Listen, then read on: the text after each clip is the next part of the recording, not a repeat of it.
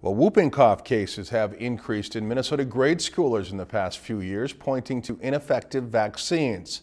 The Centers for Disease Control and Prevention study shows a spike in vaccinated children ages 7 to 10, two years prior to receiving their booster shot at 11 or 12. Pediatricians say spikes in whooping cough occur every three to five years and outbreaks often start with the parents. Adults are often out of date on their own vaccine. And so even though they've given their child that, vaccine and they're pretty well protected, they still keep bringing it home from work or from work, being at Walmart or whatever. So if parents want to protect their kids, they need to keep their vaccine up to date. The CDC study found the increase in whooping cough began in 2006.